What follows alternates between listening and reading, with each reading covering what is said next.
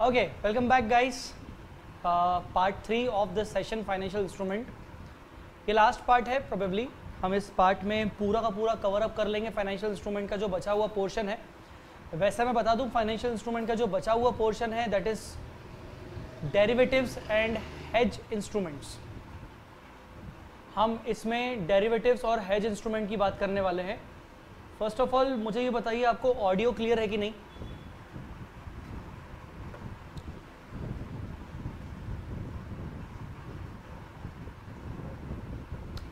Please tell me audio आपको clear हो रहा है कि नहीं? क्योंकि मेरे पास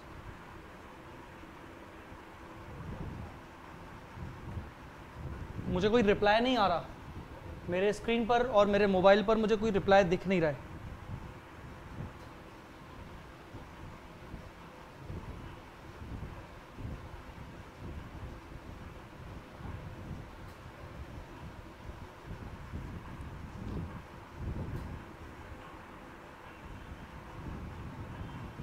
ओके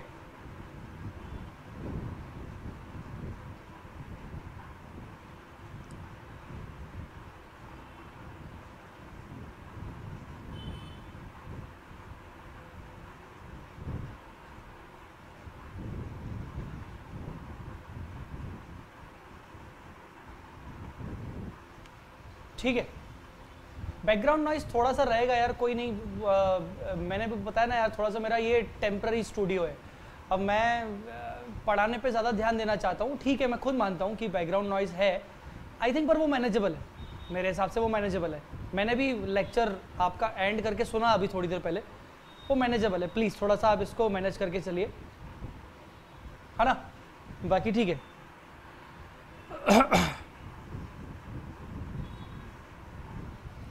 चलिए। Okay derivative instruments the last portion which is called derivative instruments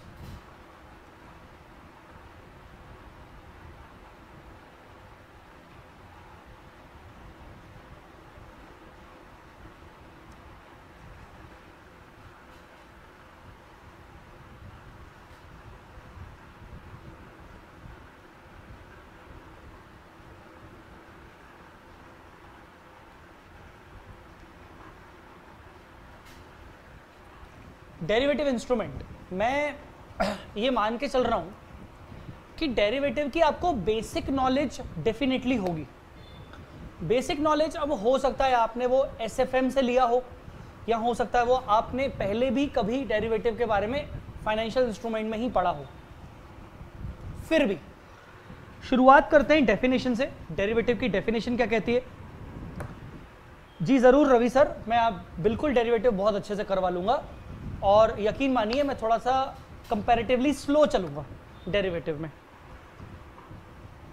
मैं मैसेजेस कुछ बच्चों के पढ़ रहा था, मैं लाइव चैट देख रहा था कुछ बच्चों की तो कुछ बच्चे बोल रहे थे कि, सर डेरिवेटिव में दिक्कत होती है, वगैरह वगैरह।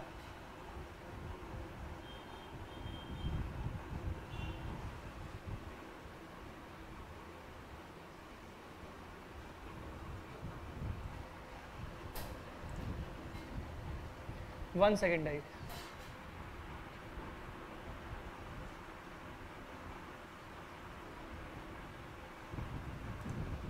अच्छा। तो मैं डेरिवेटिव को स्लो ही चलाऊँगा डोंट वरी बट उसके बावजूद मैं ये मान के पढ़ा रहा हूँ कि डेरिवेटिव का बेसिक स्ट्रक्चर आपको पता रहता है। आइए फिर भी डेरिवेटिव की डेफिनेशन से पढ़ना शुरू करते हैं। रिवाइज करना शुरू करते हैं। रिवाइज करना वर्ड जो है ना, वो बोलना ज़रूरी है। नहीं तो बच्चे बोलते हैं, सर, आप तो पूरा शुरू से ही पढ़ा दो, अच्छे से पढ़ा दो। Any instrument whose value changes whose value changes in response to change in underline the important word is underline sir, ये अंडरलाइन क्या होता है? बेटा अंडरलाइन एग्ज़ाम्पल से समझा रहा हूँ मैं आपको। अंडरलाइन मतलब शेयर अंडरलाइंग मतलब गोल्ड अंडरलाइंग मतलब क्रिकेट मैच अंडरलाइंग मतलब weather weather forecast weather underlying मतलब Sensex N S C B S NSC BSC underlying be anything underlying can be onion onion yes, प्याज. Underlying can be cotton basically कोई भी चीज़ जिसकी value बढ़ती गिरती रहती है और जहाँ वेरिएबिलिटी होती है जहाँ पर हम कुछ बेटिंग कर सके जिसके बेसिस पर हम कुछ बेटिंग कर सके बेटिंग मतलब शर्त लगा सके। लाइक like, शेयर का प्राइस शेयर का प्राइस बढ़ेगा कितना बढ़ेगा गिरेगा। सेंसेक्स पूरा मार्केट बढ़ेगा तो कितना बढ़ेगा गिरेगा एनएससी बढ़ेगा गिरेगा। लाइक दिस अनियन के प्राइजेस आने वाले एक महीने में कितने बढ़ेंगे, कितने गिरेंगे? कॉटन के प्राइजेस बढ़ेंगे, गिरेंगे. वेदर फोरकास्ट कल मेरे शहर में बारिश होगी, नहीं होगी? क्रिकेट मैच कौन सा टीम जीतेगा? ये प्लेयर सेंचुरी बनाएगा कि नहीं बनाएगा? ये इतना इस बॉल पे विकेट लेगा कि नहीं लेगा? इन सब चीज़ों में कॉमन क्या है? इन सब चीज़ों में कॉमन है, कहीं ना कहीं कोई फ्यूचर को देख रहे हैं हम कहीं ना कहीं फ्यूचर का कुछ ना कुछ प्रिडिक्शन करके हम बैटिंग कर रहे हैं। इसको आप एक स्टैंडर्ड लैंग्वेज में बोल सकते हो कि हम डेरिवेटिव कॉन्ट्रैक्ट कर रहे हैं। सो डेरिवेटिव कॉन्ट्रैक्ट के लिए किसी अंडरलाइन का होना ज़रूरी है, जिसके लिए हम, जिस अंडरलाइन के बेसिस पर हम कुछ कॉन्ट्रैक्ट कर सकें। शेयर के ऊपर हम कॉन्ट्रैक्ट कर सकते हैं। अनियन के प्राइसेस के ऊपर हम कॉन्ट्रैक्ट कर सकते हैं वॉट एवर सो क्या बोल रहा है? Any instrument which whose value changes in response to a change in underline अब मान लीजिए, हमने बोला कि एक महीने बाद आपने बोला कि अनियन के प्राइसेस गिरेंगे। मैंने बोला, अनियन के प्राइसेस बढ़ेंगे। ना तुम्हें अनियन की ज़रूरत है, ना मुझे अनियन की ज़रूरत है। ना मैं तुमसे अनियन खरीदूँगा, ना मैं तुम्हें अनियन बेचूँगा। तुम्हें उसकी फ़िज़िकल डिलीवरी नहीं चाहिए, मुझे भी नहीं चाहिए। बस अनियन के प्राइसेस अगर बढ़ गए तो मैं जीत जाऊँगा, अनियन के प्राइसेस गिर गए तो तुम जीत तुम जीत जाओगे। हम उसके प्राइजेस पे एक आपस में कॉन्ट्रैक्ट कर रहे हैं। तो वो जो कॉन्ट्रैक्ट है ना, उसको बोल रहे हैं हम, वो इंस्ट्रूमेंट वो कॉन्ट्रैक्ट बन गया इंस्ट्रूमेंट अब उस कॉन्ट्रैक्ट की वैल्यू ऊपर नीचे हो सकती है। अगर अनियन के प्राइजेस बढ़ गए तो मेरे लिए वो कॉन्ट्रैक्ट फेवरेबल हो गया। अगर वो अनियन के प्राइजेस गिर गए तो वो तुम्हारे लिए कॉन्ट्रैक्ट किया था, वो फेवरेबल हो गया, मेरे लिए अनफेवरेबल हो गया। So instrument whose value changes in response to a change in underline underline के बेसिस पर एक कॉन्ट्रैक्ट होता है, उस कॉन्ट्रैक्ट को यहाँ पर हम इंस्ट्रूमेंट बोल रहे हैं, कुछ और नहीं है। ठीक है? तो डेरिवेटिव मतलब क्या? डेरिवेटिव मतलब एक कॉन्ट्रैक्ट मतलब एक इंस्ट्रूमेंट जिसकी कोई ना कोई वैल्यू होती है, पर उसकी वैल्यू डिपेंड करती है किसी दूसरी चीज़ पर मतलब अंडरलाइन पर। अगर अंडरलाइन की वैल्यू बदलेगी तो उस कॉन्ट्रैक्ट मतलब उस इंस्ट्रूमेंट की वैल्यू बदलेगी।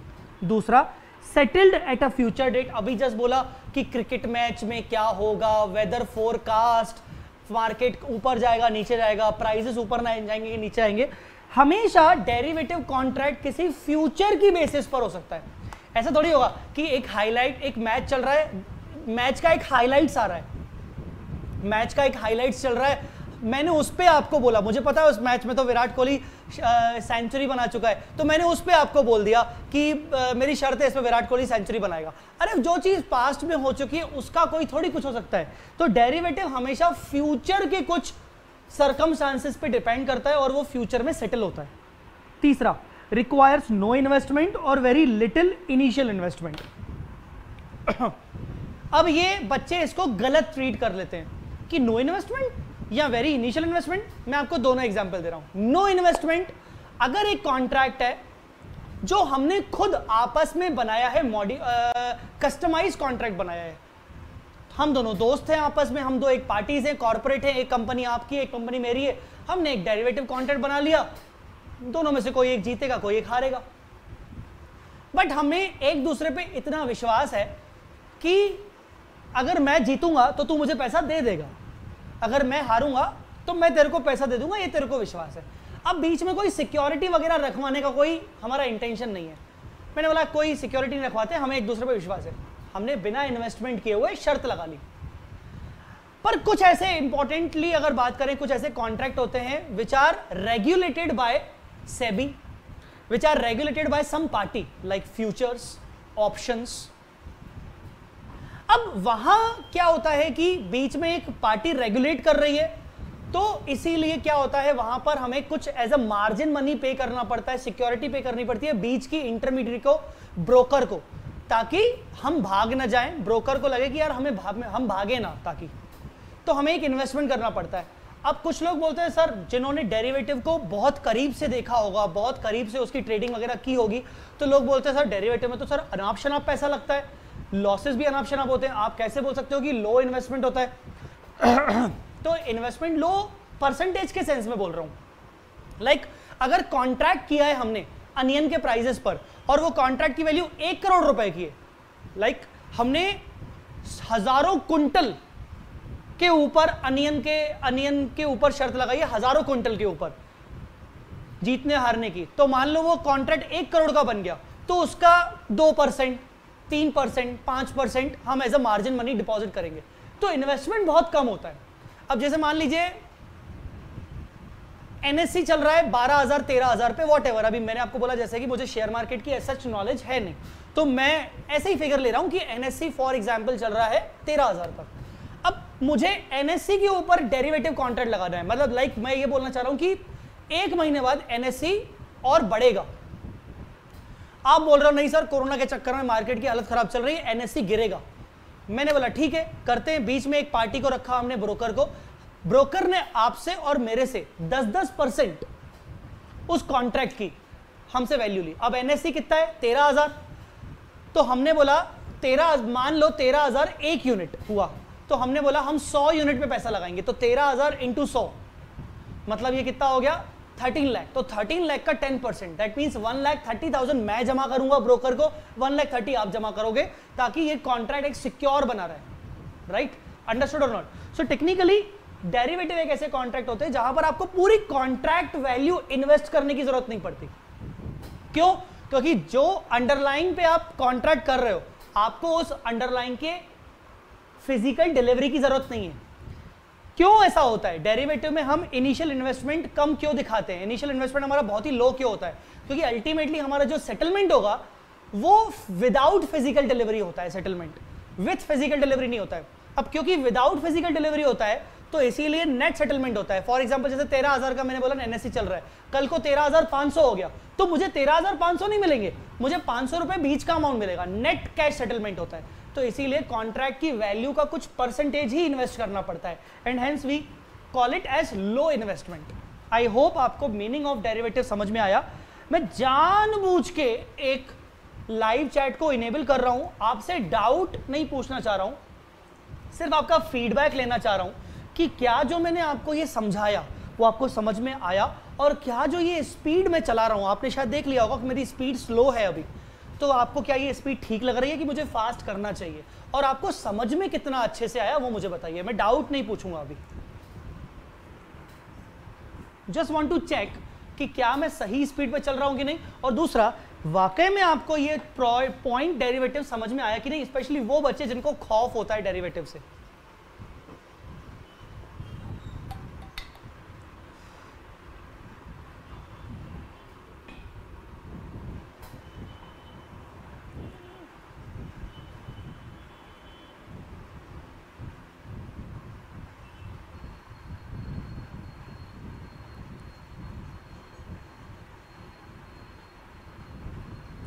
सर थोड़ा fast, okay.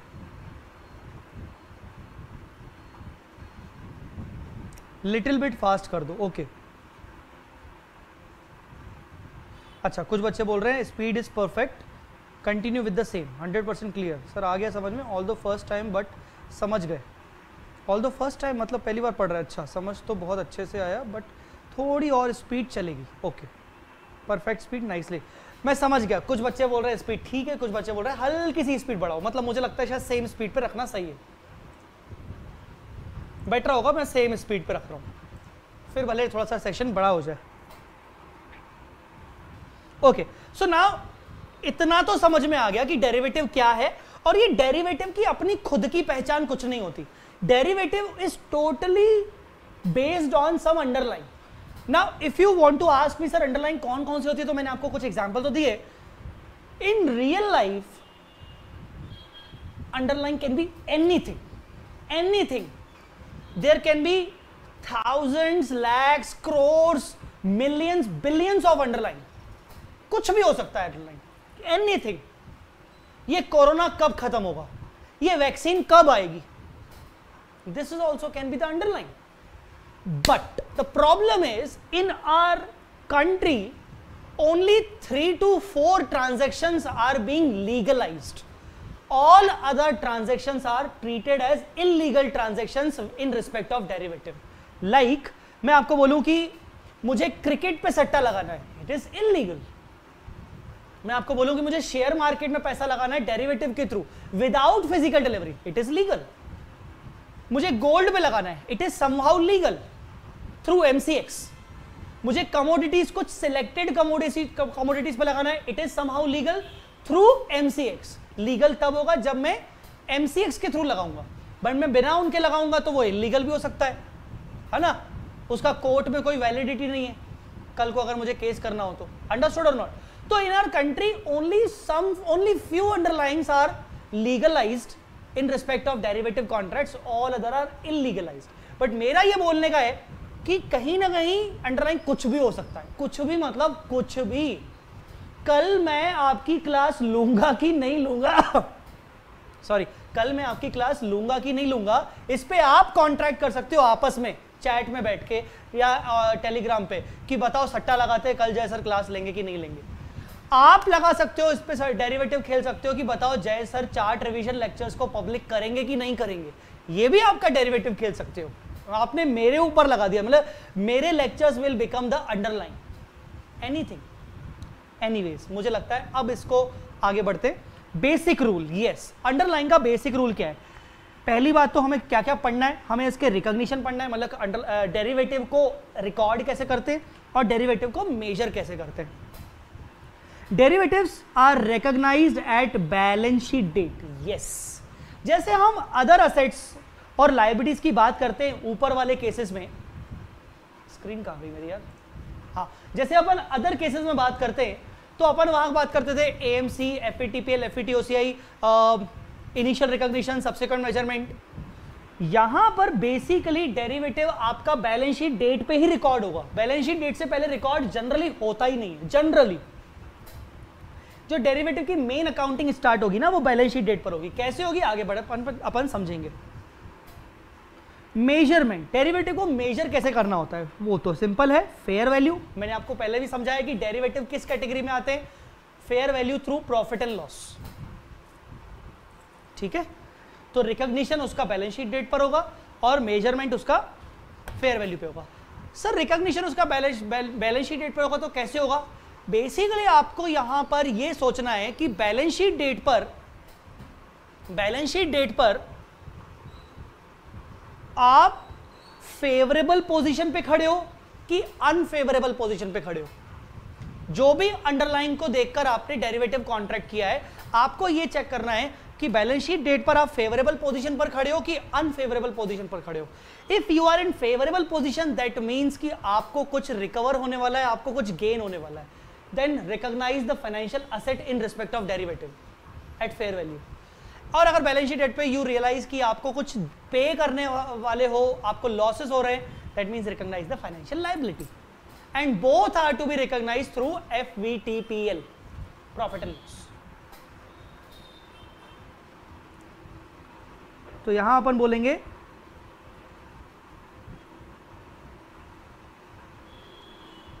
check your status WhatsApp status नहीं. फेवरेबल और अनफेवरेबल ठीक है?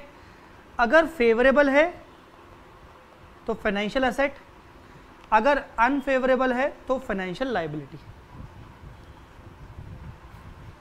ठीक है? Measurement derivatives are always measured at fair value ठीक है? फेयर वैल्यू कैसे आएगी? वो देखते हैं. Now number one we are going to talk about futures and forwards sir ये फ्यूचर्स फॉरवर्ड्स क्या होते हैं? अब कुछ डेरिवेटिव के अलग अलग टाइप के नाम लूँगा मैं। एक होता है फ्यूचर्स दूसरा होता है फॉरवर्ड्स तीसरा होता है ऑप्शंस हम सिर्फ़ और सिर्फ़ ये तीनों की बातें करेंगे। एस में तो आपने पढ़ा ही होगा। जब मैं लाइव क्लास में बच्चों से अभी तो मेरे लाइव लाइव मतलब फेस टू फेस क्लास अभी तो मेरे सामने आप बच्चे हैं नहीं। तो जब मेरे सामने बच्चे होते हैं ना तो मैं उनसे पूछता हूँ, बेटा एस में पढ़ा है कि नहीं पढ़ा है? कुछ बच्चे बोलते हैं, सर, पढ़ा है। तो उनके फेशियल एक्सप्रेशन से ही समझ में आ जाता है कि उनको डेरिवेटिव का चैप्टर अच्छा लगता है कि अच्छा नहीं लगता है। और मेरा अभी तक का जो एक्सपीरियंस कहता है 60 परसेंट स्टूडेंट्स को डेरिवेटिव सब टॉपिक एसएफएम का कुछ अच्छा नहीं लगता है और 40 परसेंट को अच्छा लगता है। मतलब ज़्यादा लोगों को अच्छा नहीं लगता है। I don't know why but मैं उसको अगर अपने से कोरिलेट करूँ तो मैं भी जानता हूँ कि जब मैं खुद पढ़ता था तो मुझे भी नहीं समझ में आता था। पर सच्ची मुच्ची बताऊँ, जब मैंने उसकी अकाउंटिंग पढ़ना शुरू की, मैंने जब इसकी आई एफ़ आर एस की क्लासेस जब ली थी मैंने I F R S diploma की मैंने क्लासेस ली थी, मैंने जब पढ़ाई की थी, तब मुझे रियलाइज़ हुआ कि यार डेरिवेटिव की अकाउंटिंग समझने के बाद जब आप इसका एस एफ़ एम पढ़ते हो तो आपको बहुत मज़ा आता है। एनी वेज फ्यूचर्स हम फ्यूचर्स को लेकर किस रिस्पेक्ट में बात करेंगे?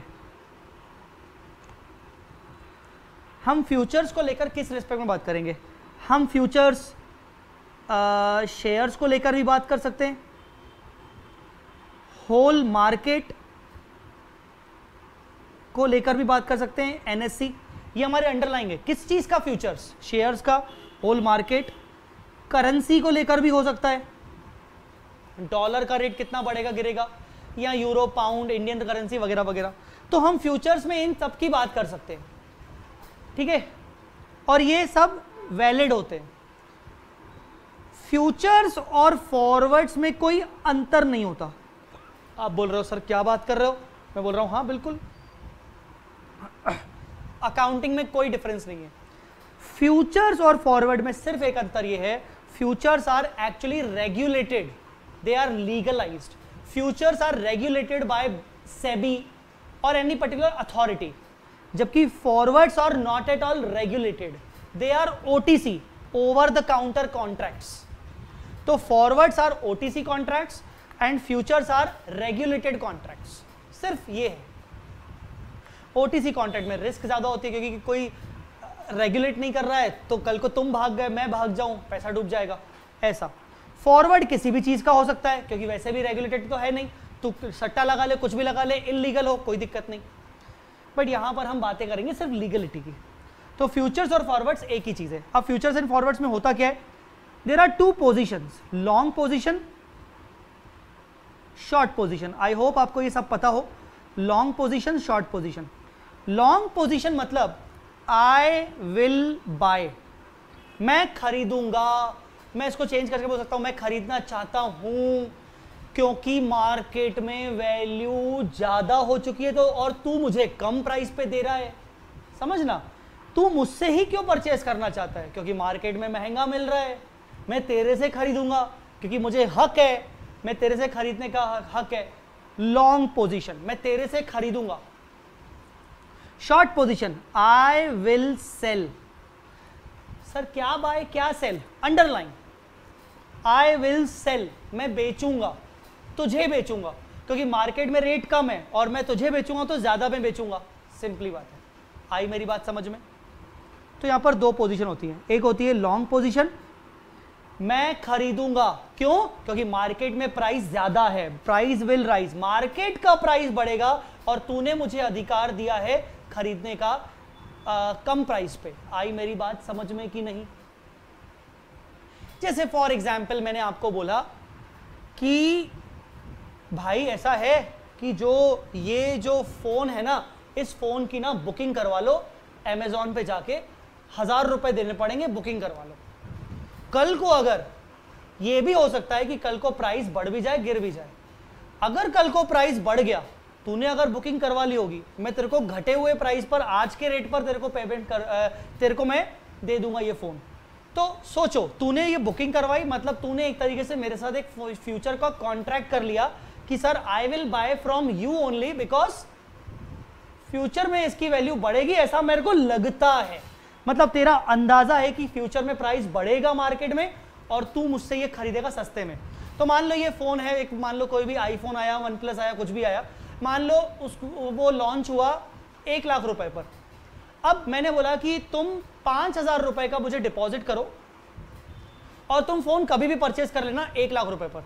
पर अगर आगे चल के इसकी वैल्यू बढ़ गई, एक लाख से ज़्यादा हो गई और तुमने मुझे बुकिंग नहीं की तो तुम्हें बड़े हुए रेट पर लेना पड़ेगा। अब हुआ क्या? तुमने बुकिंग कर ली। मतलब तुमने एक मेरे साथ फ्यूचर कॉन्ट्रैक्ट कर लिया। ठीक है ना? फ्यूचर कॉन्ट्रैक्ट कर लिया। अब क्या हुआ? मार्केट में सही में सच्ची मुच्ची एक लाख से एक लाख दस हज़ार वैल्यू हो गई, पर मैंने तुम्हें ये फ़ोन कितने का दिया? एक लाख रुपए में दिया। मैंने तुम्हें फ़ोन दिया एक लाख का, तुमने मुझे पाँच हज़ार दे दिए थे नाइनटी फाइव तुमने मुझे और दे दिए। हालाँकि ये डेरिवेटिव कॉन्ट्रैक्ट नहीं बोल सकते, क्योंकि यहाँ पर फ़िज़िकल डिलीवरी हो रही है फ़ोन की। यहाँ पर अंडरलाइन क्या है फ़ोन यहीं पर मैं आपको बोलूँ कि बेटा फ़िज़िकल डिलीवरी नहीं करेंगे फ़ोन की। आपने बोला, ठीक है, सर। तो क्या हुआ? आपने बोला कि, सर, मैंने वो पाँच हज़ार रुपए आपको दे दिए थे एज अ सिक्योरिटी तो आज फ़ोन की वैल्यू हो चुकी है एक लाख दस हज़ार, जबकि मैंने एक लाख रुपए में फ़ोन बुक कर लिया था। मैंने बोला हाँ यार तो सर, एक काम करिए, मुझे तो ना, मेरे को तो दस हज़ार का फ़ायदा हो गया। मतलब जो फ़ोन मैंने एक लाख में बुक किया था, अब वो एक लाख दस हज़ार का हो गया। इसका मतलब सर, बीच का दस हज़ार फ़ायदा हो गया। सर, आप तो मुझे दस हज़ार वापस, दस हज़ार रुपए दे दो। और जो मैंने आपको पंद्रह हज़ार जमा किए थे, वो भी रिफंड कर दो। मतलब मैं आपको वापस कितने करूँगा? पंद्रह हज़ार, जिसमें से पाँच हज़ार आपके ही थे, और दस हज़ार आपने आप उससे प्रॉफिट कमा लिया। आई बात समझ में कि नहीं? मैंने आपको फ़ोन की डिलीवरी नहीं दी, मैंने आपको बीच का डिफरेंस अमाउंट दे दिया।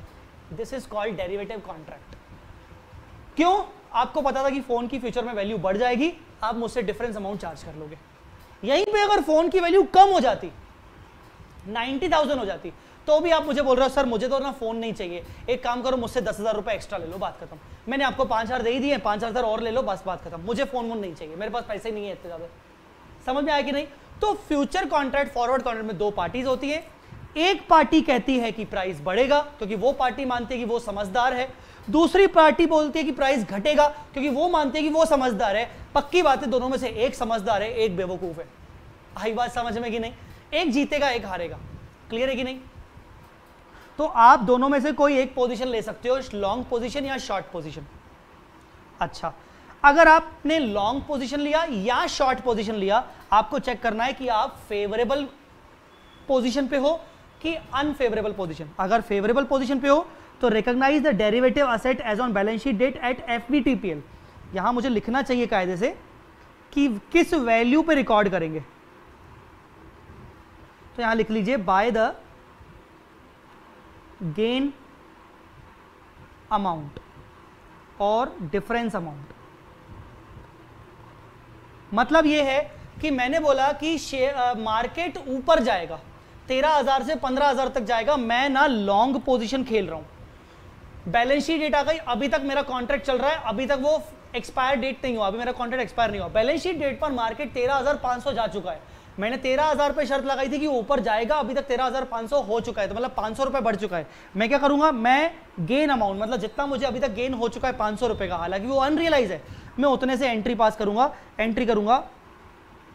Derivative financial asset debit to fair value gain और ये फेयर वैल्यू केन कहाँ जाएगा? पी में, पाँच सौ रुपए।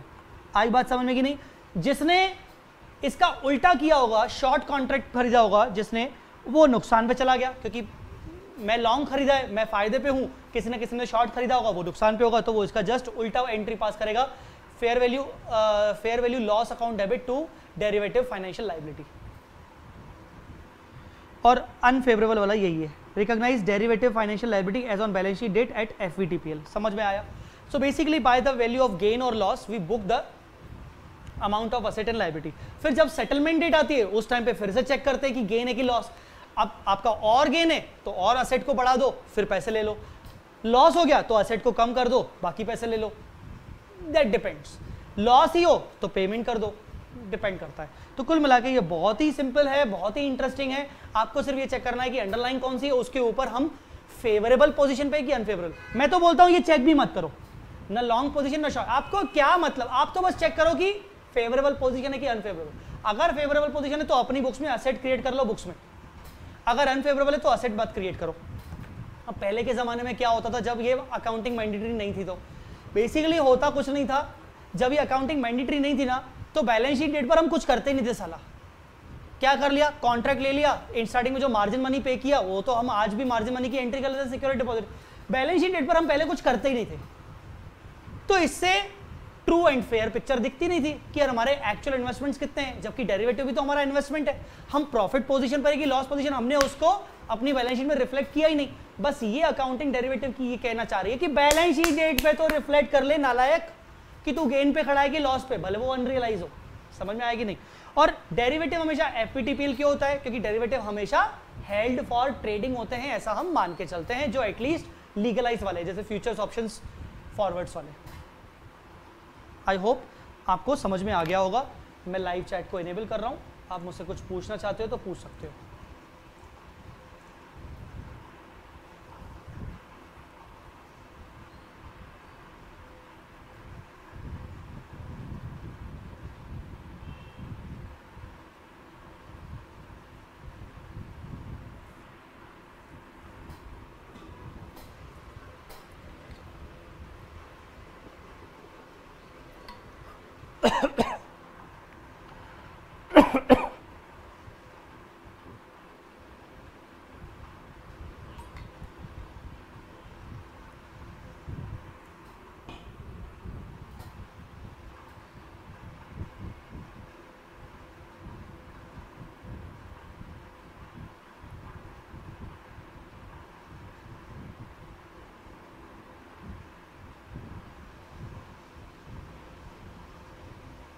कोई रिप्लाई क्यों नहीं कर रहा रे?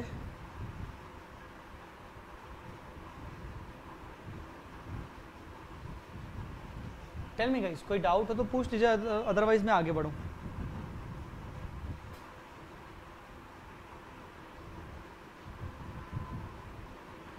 श्वेतांग एक्चुअली आई गैप में इंडियन गैप में उसका guidance note on derivative contracts लगता है तो वहाँ पर भी मैंडेटरी है अब।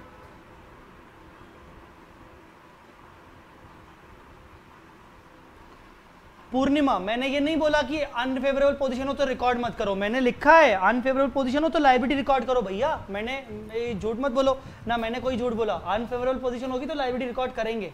मैंने ऐसा कुछ भी नहीं बोला। चाहो तो अदर बच्चों से पूछ लो। What will be the entry for initial margin money deposit एक बात बताओ, अगर तुम्हें किसी को सिक्योरिटी डिपॉजिट देना हो तो तुम क्या एंट्री करोगे? सिक्योरिटी डिपॉजिट टू बैंक वैसी एंट्री होगी। Lucky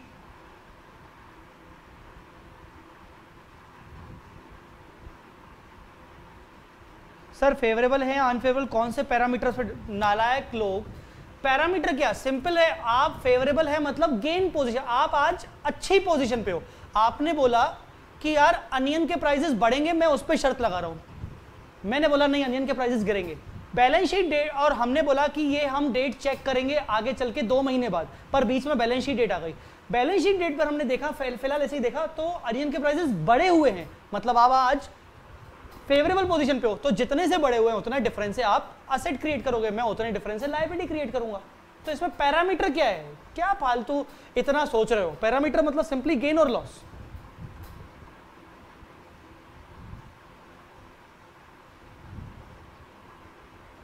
sir suppose in balance sheet date we are in favour position we book gain and routed to P and L but अगर सेटलमेंट पे काफ़ी लॉस आएगा तो again we book book loss so somewhere P account में affect हो। Yes affect तो होगा। Balance sheet date पर आपने प्रॉफिट बुक किया बट सेटलमेंट डेट पर आते आते आप लॉस में आ गए तो आप अल्टीमेटली रिवर्स कर लोगे और पेंट अगले साल के पेंट में आपका लॉस दिखेगा। वो तो होगा ही होगा definitely sir favourable position conservative principle को वॉयलेट कर रहा है। कुणाल चौधरी, पहली बात तो अपने मैसेज को रिपीट मत करो। मैंने मैसेज पढ़ लिया है। दूसरी बात, कुणाल चौधरी फाइनल में ही हो गया आप। कंजर्वेटिव प्रिंसिपल को कितनी सारी चीज़ें वॉयलेट करती है, तुम भी जानते हो, मैं भी जानता हूँ। पर हम उसके बाद भी उनकी अकाउंटिंग करते हैं। तो ये डाउट आपका फाउंडेशन वाले बच्चे का जैसा डाउट है। एक बेसिक एग्ज़ाम्पल दे रहा हूँ आपको। डेप्रीसिएशन लगाते हो एसएलएम बेसिस पर। फॉर्मूला होता है original cost minus residual value divide by life minus residual value क्यों करते हो? तुम्हें क्या पता है क्या रेसिडुअल वैल्यू तुम्हें मिलके रहेगी? तुम एस्टीमेट लगाते हो कि यार दस लाख की एसेट है, एक लाख रुपए तो मिलेगी, इसका मतलब मुझे नौ लाख का डेप्रेशन लगाना है। किसने तुम्हें गारंटी दी कि तुम्हें एक लाख मिलेगी दस साल बाद, बीस साल बाद? एक लाख रुपए तुमने रेसिडुअल वैल्यू फिर भी माइनस की। वो भी तो तुम्हारा वॉयलेट कर रहा है कंजर्वेटिव को। तुमने वो तो अपनी eleventh class twelfth class C foundation inter वाले टीचर से तो कभी पूछा नहीं। तो वॉयलेट वाली बातें मत करो। ये वॉयलेट वाली बातों से अपन बहुत सारा आगे आ चुके हैं, है ना? वॉयलेट सी बातों से हम बहुत ज़्यादा आगे बढ़ चुके हैं। हम सी ए फाइनल स्टूडेंट्स हैं। हम ये वाले बात सिली सिली क्वेश्चन ना करें अपने आप से। So in between of year direct profit और लॉस बुक की एंट्री होगी। Sir you gave treatment as balance sheet so in between of year direct profit और लॉस बुक की एंट्री बेटा बैलेंस शीट डेट पर डेरिवेटिव को recognise करना है। फिर सेटलमेंट जो बैलेंस शीट डेट के बाद जो सेटलमेंट डेट आएगा, तब आपको फिर से चेक करना है कि आपका असेट लाइबिलिटी का वैल्यू क्या पोजीशन दिखा रहा है। दैट दैट दैट्स इट आपको एक बैलेंस शीट डेट देखनी है, एक सेटलमेंट डेट देखनी है। Shweta is derivative record at other than balance sheet date in any situation yes अभी मैं आपको ऑप्शंस करवाऊँगा। ऑप्शंस में मैं आपको बताऊँगा कि हम इनिशियल डेट पे भी रिकॉर्ड कर सकते हैं। अभी आऊँगा उस पर Sudeep Pandey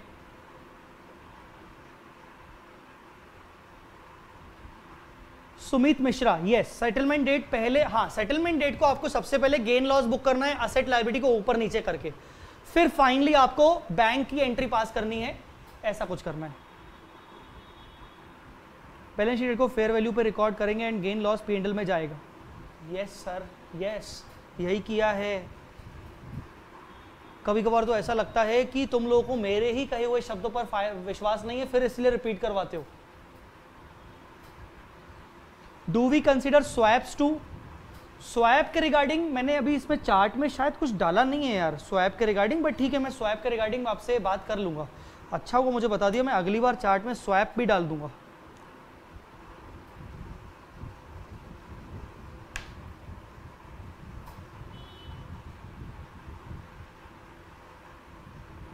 सर, यहाँ ऑप्शन नहीं है कि trade date accounting settlement date accounting Bhagyesh, यहाँ पर सेटलमेंट डेट अकाउंटिंग होती है सिर्फ़। Trade date accounting, settlement date accounting. Sir, inter doubt के लिए भी लाइव आई जी हाँ सर, आएँगे, सर। चलो।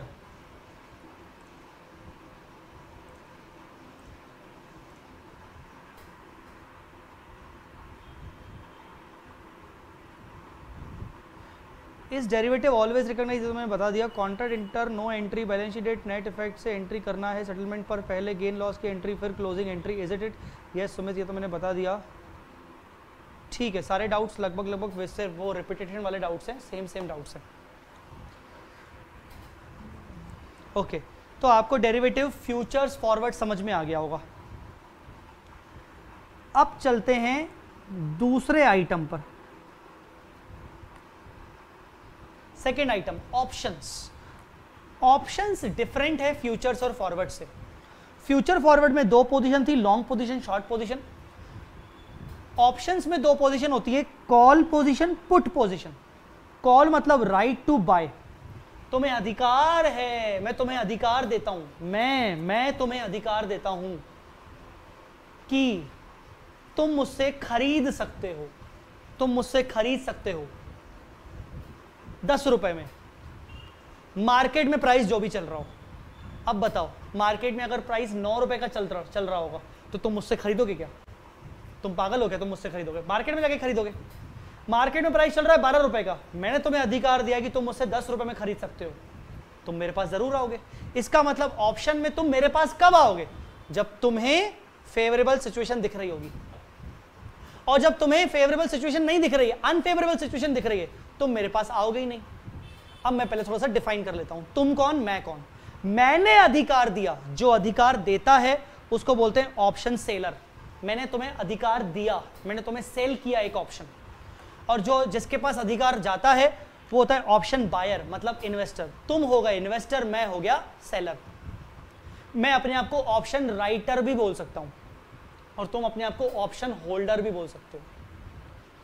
अब ऑप्शन होल्डर को मैंने पहला एक ऑप्शन दिया कॉल ऑप्शन तुम ये मोबाइल मुझसे दस हज़ार में खरीद सकते हो, ये मैंने तुम्हें एक ऑप्शन दे दिया, खरीदने का ऑप्शन अब बताओ ये मोबाइल दस हज़ार में कब खरीदोगे? जब मार्केट में दस हज़ार से महँगा होगा। बारह हज़ार का होगा, तुम मेरे पास आओगे। तुम बोलोगे, सर, ये मोबाइल में आपसे परचेस करूँगा। मैं बोलूँगा फ़िज़िकल डिलीवरी नहीं करते नेट सेटलमेंट कर लेते, तभी तो ये डेरिवेटिव होगा। आपने बोला, ठीक है। तो मार्केट में क्या रेट चल रहा है? बारह। तुम्हें खरीदने का ऑप्शन कितने में दिया मैंने? दस। तो तुम बोलोगे, सर, एक काम करो, मुझे दो हज़ार रुपए दे दो, क्योंकि मैं तो दो हज़ार की पोजीशन पे हूँ। क्यों? क्योंकि, सर, मैं आपसे दस हज़ार में खरीदूं, फिर मैं मार्केट जाके बेचूं बारह हज़ार में। हो सक हो सकता है, आप ही आप ही खरीद लो मुझसे। कुल मिला के मुझे तो 2000 का फ़ायदा चाहिए, मैं आपसे 2000 ले रहा हूँ। मैंने बोला, लेके, ले ले 2000 ठीक है, दूसरा, मार्केट में इस मोबाइल की वैल्यू हो गई नौ हज़ार रुपए। क्या तुम मेरे पास आओगे? नहीं आओगे। तुम मेरे पास आओगे ही नहीं। बात खत्म ऑप्शन खत्म। मैंने ये वैलिडिटी दी थी तुम्हें एक महीने की। एक महीने के अंदर अंदर आना पड़ेगा। ऑप्शन नहीं तो खत्म हो जाएगा। मार्केट में प्राइस सस्ता है, तुम मार्केट से जाके परचेस कर रहे हो तो मेरे पास आ ही नहीं रहे हो। आया समझ में कि नहीं? तो मेरे पास आ ही नहीं रहे हो। तो ये ऑप्शन खत्म हो गया बात खत्म। दूसरा पुट ऑप्शन मैंने तुम्हें बेचने का ऑप्शन दिया। मैंने तुम्हें बोला कि तुम अपना मोबाइल मुझे बेच दो। मोबाइल बेचो शेयर बेचो करेंसी बेचो।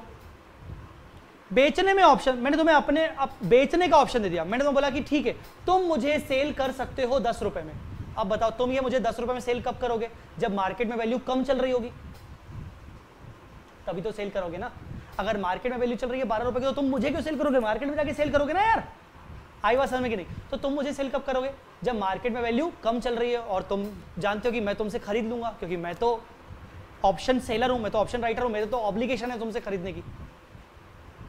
तुमने बोला, सर, मैं बेचूँगा भी नहीं, आप खरीदो मत, हम तो नेट सेटल कर लेते हैं। मैंने, ठीक है, ऐसा कर लेते हैं। अब मार्केट में रेट वैसे ही ज़्यादा चल रहा है तो तुम मेरे पास आओगे क्या बेचने? नहीं आओगे ऑप्शन लैब्स तो इसमें अपने आप के पॉइंट ऑफ़ व्यू से सोचो इन्वेस्टर के पॉइंट ऑफ़ व्यू से सोचो इन्वेस्टर राइटर के पास तभी जाएगा। कॉन्ट्रैक्ट तो कर लिया, पर सेटल करने तभी जाएगा सेटल करने तभी जाएगा जब इन्वेस्टर फेवरेबल पोजीशन पर है। पर अगर इन्वेस्टर फेवरेबल पोजीशन पे नहीं है तो ये ऑप्शन लैप्स हो जाएगा। सर, इसमें सेलर का क्या फ़ायदा? सेलर का फ़ायदा ये कि सेलर ने ऑप्शन देने के लिए इन्वेस्टर को उससे कुछ प्रीमियम लिया है। प्रीमियम। ये तुम ना, ये कोई ऐसा ऐसा नहीं है कि मतलब तुम मेरे को मक्खन लगाओ वो जो किसी, कोई एक बच्चा मक्खन लगा रहा था, सर, हम आपके लॉयल स्टूडेंट है। लॉयल हो चाहे कोई भी स्टूडेंट हो, मेरे लिए सभी स्टूडेंट एक समान। अगर ऑप्शन चाहिए मुझसे खरीदने का या मुझे बेचने का तो तुझे, मुझे, तुझे एक प्रीमियम का अमाउंट मुझे देना। मुझे एक फ़ीस देनी पड़ेगी फ़ीस मैं ये फ्री फोकट में ऑप्शन नहीं दूँगा। जो फ़ीस तू मुझे देगा तू हमेशा मुझे फ़ीस देगा, मैं हमेशा तेरे से फ़ीस रिसीव करूँगा।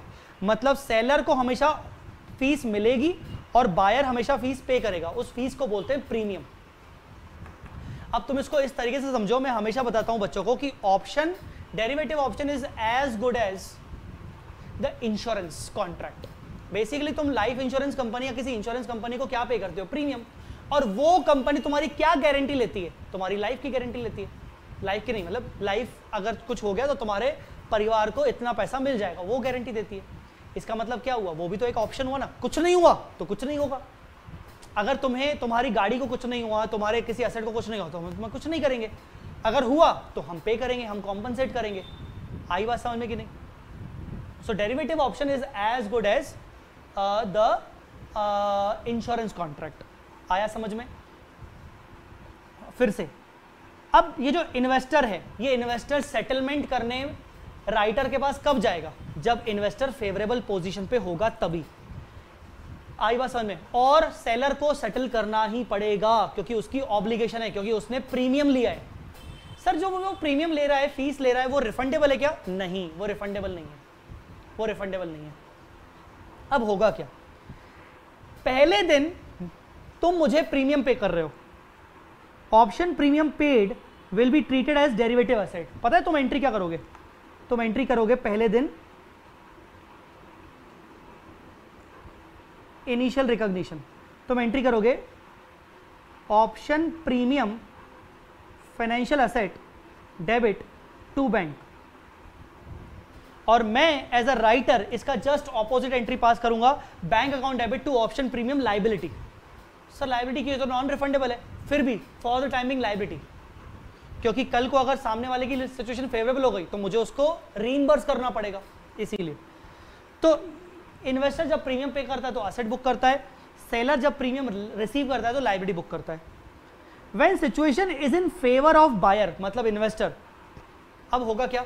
अब बैलेंस शीट डेट अब पहली बार मैं बैलेंस शीट डेट पर चेक करूँगा कि सिचुएशन फेवरेबल है कि अनफेवरेबल अगर सिचुएशन फेवरेबल है, जैसे मान लो, एक एग्जांपल से चलते हैं।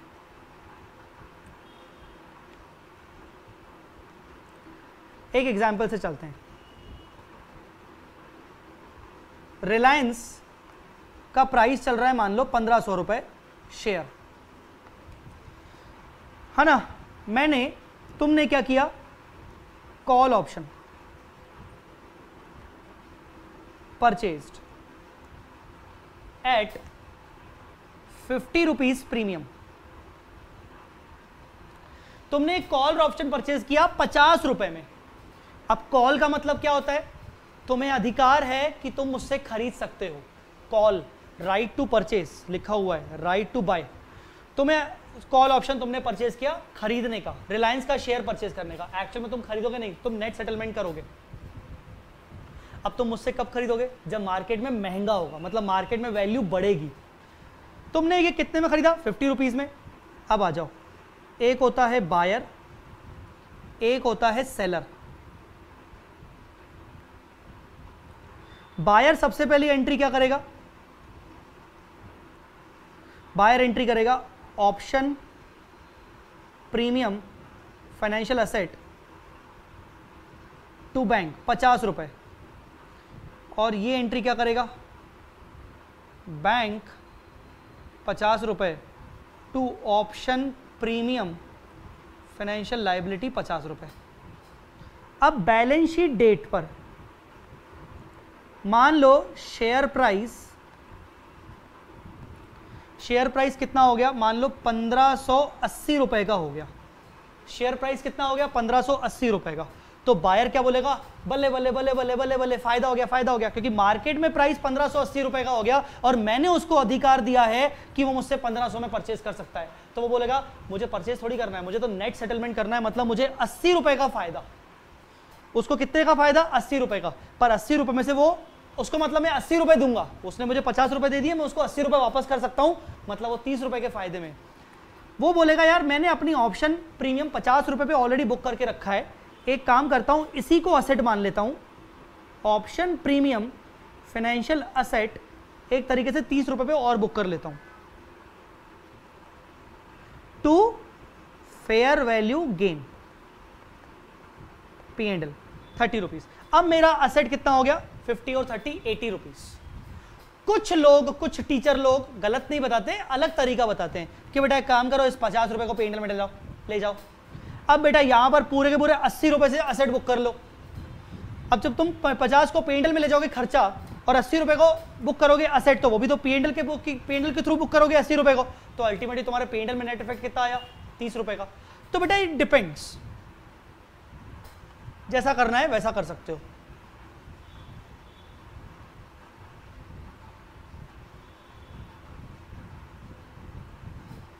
समझ में आई बात? ये क्या करेगा? ये बोलेगा, भाई fair value loss to option premium financial liability thirty rupees अब मान लीजिए सेटलमेंट डेट सेटलमेंट डेट पर शेयर हो गया पंद्रह सौ सिक्सटी फाइव रुपीज़ का। चलो, कोई बात नहीं। आप 1580 तक उसको लेके आए थे। तो अब मेरा यहाँ पर पंद्रह रुपए का नुकसान। तो यहाँ पर क्या बुक करूँगा? Fair value loss to option premium financial asset पंद्रह रुपए का नुकसान। और ये एंट्री क्या बुक करेगा? ऑप्शन प्रीमियम फाइनेंशियल लाइबिलिटी पंद्रह रुपए टू फेयर वैल्यू गेन पंद्रह रुपए। अब ध्यान से देखिए 50 debit 30 debit 80 minus 15 credit 65 so ultimately what I will get? I will get bank account debit to option premium 65 मुझे 65 रुपीस मिल गए। मैंने इन्वेस्टमेंट कितना किया था? पचास रुपए। पचास रुपए इन्वेस्ट करके 65 रुपीस कमाया। सिक्सटी फाइव रुपीज़ मिला। पचास के इन्वेस्टमेंट पर मुझे 65 रुपीस वापस मिला। मैंने पंद्रह रुपए कमाया। पंद्रह डिवाइड बाय पचास। पंद्रह रुपए, पंद्रह डिवाइड बाय पचास। थर्टी परसेंट इन्वेस्ट रिटर्न भाई थर्टी परसेंट रिटर्न कोई नहीं दे रहा आजकल। सोचो। सो डेरिवेटिव इतनी खतरनाक चीज़ है टू बी वेरी फ्रेंक कम इन्वेस्टमेंट करके आप अच्छा खासा कमा सकते हो, पर other side of the coin भी ये देखना पड़ेगा कि कम इन्वेस्टमेंट तो करके ठीक है अच्छा खासा कमा सकते हो, पर आप अच्छा खासा लॉस में भी जा सकते हो। ध्यान रखिएगा। ठीक है? और उसका भी वैसे ही होगा। थर्ड एंट्री क्या बताऊँ? फोर्थ एंट्री क्या बताऊँ? मैंने बताई थी option premium debit to bank हो जाएगा। सो गाइस ये है आपका option simple C Y point है। यहाँ पर कुछ करेक्शन करना पड़ेगा। If situation is in favour of buyer then above asset shall be increase through P and L if situation is in is not in favor of seller, then above liability shall be increased to P&L. If situation is not in favor then write off the above asset to the extent of that portion which is not realizable. If situation is in is in favor then above liability is reversed P and uh, reversed to P and L to the extent of that portion which is not payable. Simple. मुझे नहीं लगता कि इससे simple तरीका कुछ हो सकता है ऑप्शंस को समझने का आई थिंक आपको समझ में आ गया होगा मैं तो आपको फिर भी यही बोलूँगा अगेन जैसे मैंने आपको फ्यूचर ऑप्शन में फ्यूचर में बोला था कि लॉन्ग शॉर्ट मत देखो यहाँ पर भी बोलूँगा कॉल पुट मत देखो, सिर्फ़ ये देखो, क्या इन्वेस्टर अपनी फेवरेबल पोजीशन पर है तो ही वो सेलर के पास जाएगा सेटल करवाने। अगर वो फेवरेबल पोजीशन पे नहीं है तो वो अपनी ऑप्शन प्रीमियम असेट को रिवर्स करेगा लॉस करेगा सिंपली आई बात समझ में? क्लियर बेटा? अब यहाँ ये भी हो सकता है। 1500 पर था मैंने पचास रुपए ऑलरेडी इन्वेस्ट कर दिया। मतलब मेरा ब्रेक इवन कितना है? 1550 रुपए। मैं चाहूँगा कि 1550 से ऊपर बढ़ जाए ताकि मेरा प्रीमियम भी निकल जाए। मान लो कल को वैल्यू 1580 नहीं थी 1540 हो गई। तो भी मैं बोलूँगा, चल ठीक है, मैंने प्रीमियम कितना पे किया था 50 आज 1540 हो गई। कम से कम 40 तो आज भी मिल सकते हैं। मतलब मैं दस रुपए से राइट ऑफ़ कर दूँगा। अपने ऑप्शन प्रीमियम पचास में से दस रुपये राइट ऑफ़ कर दूँगा। मैं बोलूँगा, चालीस रुपये तो मुझे आज भी मिल सकते हैं। समझ में आया कि नहीं? ये होता है। this is derivative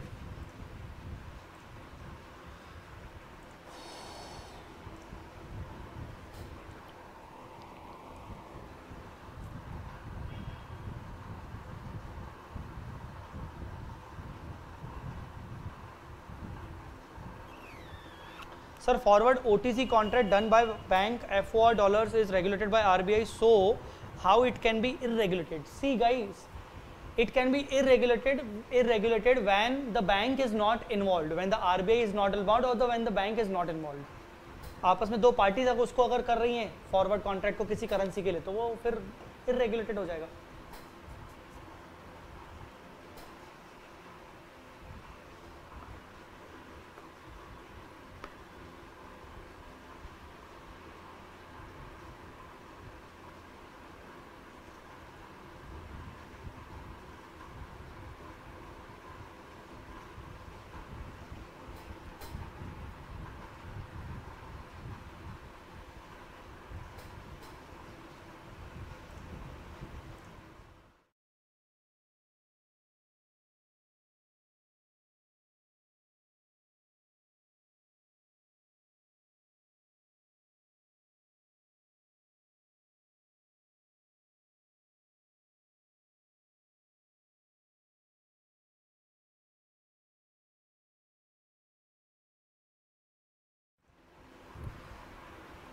sir unrealise gain and loss is booked so sir it's tax impact बेटा टैक्स इम्पैक्ट मतलब आप क्या पूछना चाह रहे हो? मतलब इसका इनकम टैक्स में क्या होगा? तो D T D D T L बनेगा बेसिकली इसका टैक्स इम्पैक्ट अगर पूछना चाह रहे हो तो। अगर उसका टैक्स बेस कुछ और है तो। जनरली हम नहीं बनाते, क्योंकि ये शॉर्ट टर्म होते हैं और हम मान के चलते हैं कि टैक्स बेस भी हम इसका सेम रखेंगे, इसीलिए। इस derivative already recognise balance sheeted मैं इसका जवाब दे चुका हूँ। Sir I can't say this is revision class जिससे पहले भी नहीं पढ़ा, वो पूरा समझ सकता thank you so much for going into depth in efficient manner thank you बेटा। अकाउंटिंग बहुत अच्छी तरह समझ आया आप, समझ, समझाया सर आपने। Sir generally who is more beneficial in this option holder और writer I can say actually writer जो होता है, वो ज़्यादा फेवरेबल पोजिशन पे होता है। In options, contract entered at 1500 balance sheet date 1400 then buyer will write off the asset, but what do seller fair value gain? Yes Nikhil सेठी वो जो सेलर है, वो अपनी लाइबिलिटी को राइट ऑफ़ कर देगा और वो गेन बुक कर देगा। सेटलमेंट डेट पर हो सकता है, वापस से पोजीशन उल्टी हो जाए, फिर वो अपनी असेट और लाइबिलिटी क्रिएट कर लेंगे। सर अगर option buyer call and put दोनों ऑप्शन खरीदता है फॉर हैजिंग हिज लॉस तो उसका अकाउंटिंग कैसे होगा? कुछ नहीं है। हैजिंग जब आएगी, तब मैं आपको समझाऊँगा। फ़िलहाल ये समझो कि अगर मान लो फ़िलहाल हैजिंग नहीं मतलब सिंपली अगर दो कॉन्ट्रैक्ट है तो दोनों की आप कॉन्ट्रैक्ट्स इंडिविजुअली एक की आप कॉल की अलग करो और पुट की अलग करो। आप दोनों की करो, करते रहो, अपने आप हैजिंग हो जाएगी। सिंपली सर ऑप्शन सेलर में आपने जो करेक्शन किया, वो उल्टा होगा ना? नहीं, उल्टा नहीं होगा।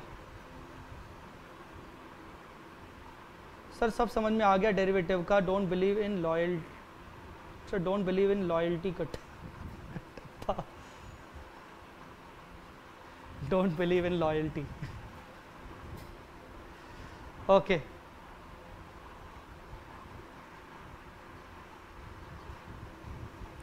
चलो, सभी लोग थैंक यू थैंक यू ज़्यादा बोल रहे हैं मतलब डाउट नहीं है।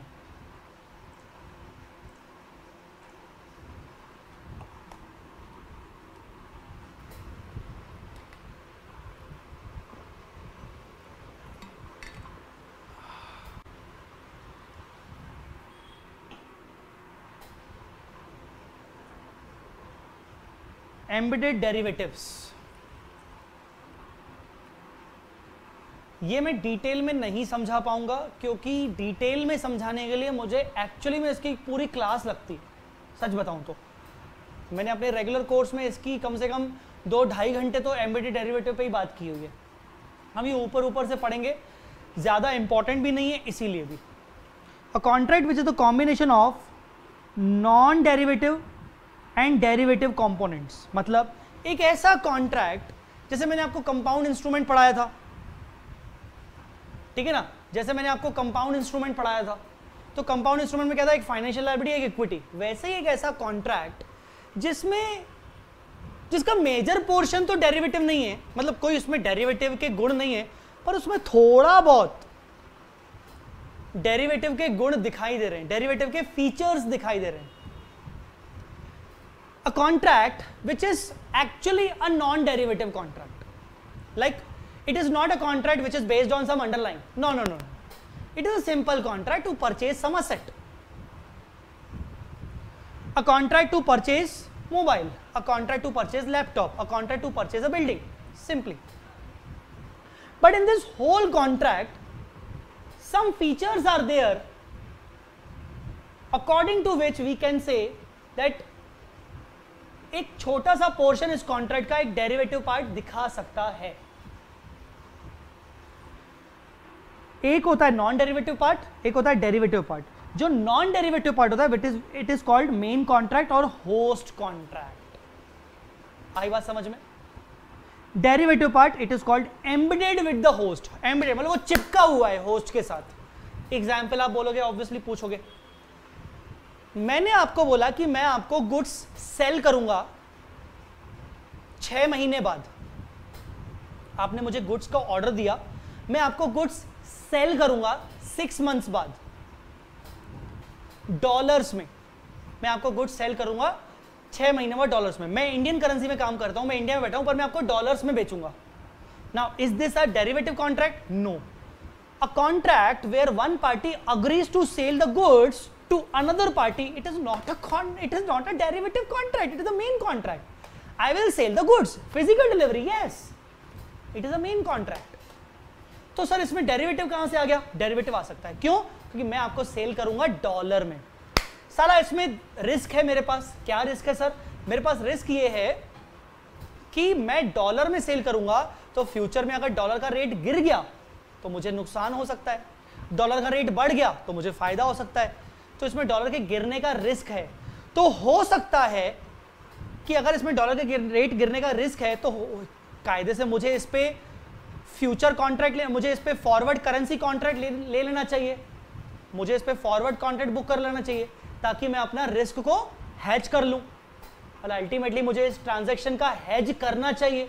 मैं कर नहीं रहा हूँ पर मुझे हैज़ करना चाहिए क्योंकि यहाँ पर डॉलर का इन्वॉल्वमेंट है करेंसी रिस्क इन्वॉल्वमेंट है। तो टेक्निकली अगर मैं यहाँ पर हेजिंग करता हूँ, भले मैं कर रहा हूँ, नहीं कर रहा हूँ हेजिंग मुझे करना चाहिए तो टेक्निकली यहाँ पर आ जाएगा डेरिवेटिव की एंट्री हो जाएगी।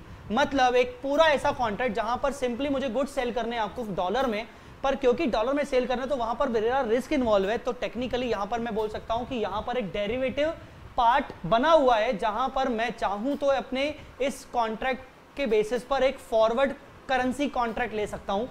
जहाँ पर मेरा रिस्क कवर हो जाएगा। तो ये हो गया एम्बेडेड डेरिवेटिव इस कॉन्ट्रैक्ट के साथ। आई बात समझ में?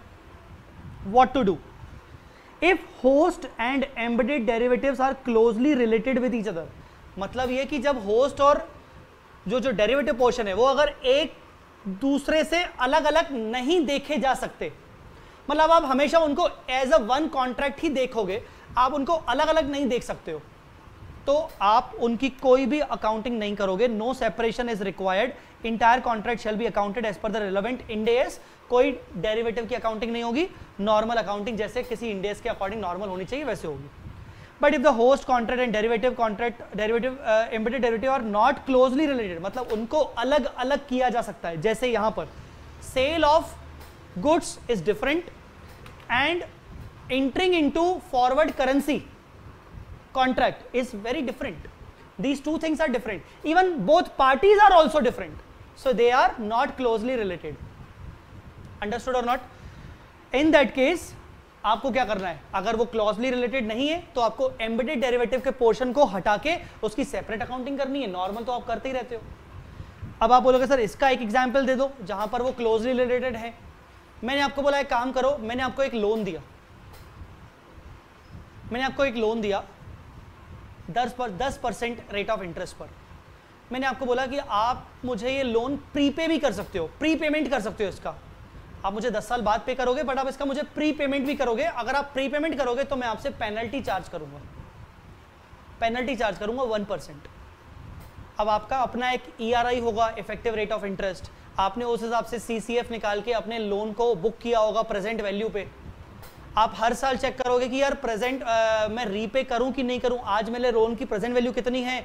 रीपे करूँगा तो मुझे पूरे पूरे दस लाख रीपे करने पड़ेंगे। आप हमेशा चेक करते चलोगे। यहाँ पर मैंने आपको बोला कि मैं अगर प्रीपे करने का एक ऑप्शन दे रहा हूँ आप से मैं पेनल्टी चार्ज करूँगा बट अगर आपने प्रीपे पेमेंट किया तो। क्या यहाँ पर एक एम्बेडेड डेरिवेटिव दिख रहा है? हाँ दिख रहा है क्योंकि एक ऑप्शन दिया है मैंने आपको। पर क्या मैं इसको अलग करके दे, देख सकता हूँ? नहीं क्योंकि यहाँ पर दो अलग अलग पार्टीज़ नहीं है। यहाँ पर पार्टी एक ही है। आई बात समझ में कि नहीं? तो इसीलिए यहाँ पर कह सकते हैं कि closely inter related with other तो उसको सिंगल कॉन्ट्रैक्ट मानते हुए नॉन डेरिवेटिव कॉन्ट्रैक्ट मानते हुए नॉर्मल अकाउंटिंग करो फाइनेंशियल इंस्ट्रूमेंट की अकाउंटिंग नहीं होगी। और अगर नॉट क्लोजली रिलेटेड है तो उसको फिर सेपरेट डेरिवेटिव को सेपरेट अकाउंटिंग करो simply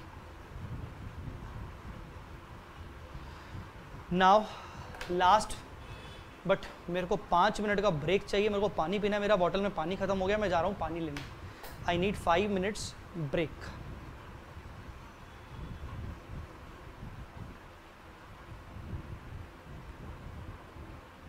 I needs five I need five minutes break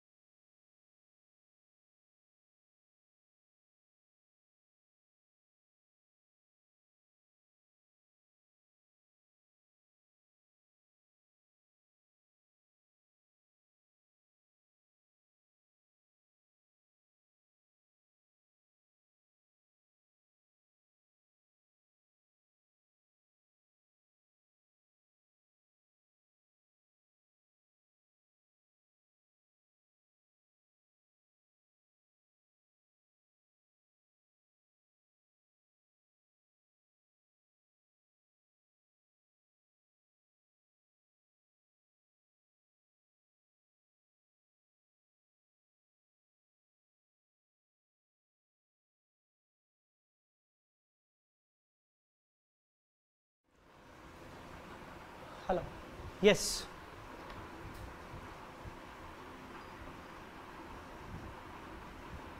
अब आते हैं लास्ट पोर्शन पे which is called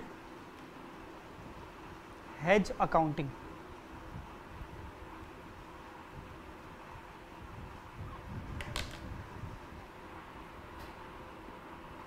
hedge accounting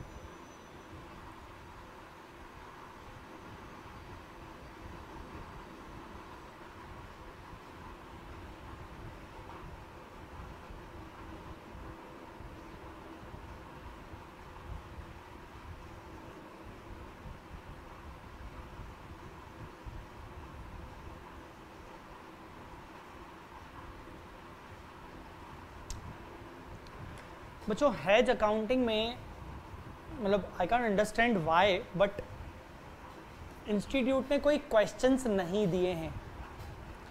has accounting का सिर्फ़ आपको थियोरी इंपॉर्टेंट है, जो बताया गया है।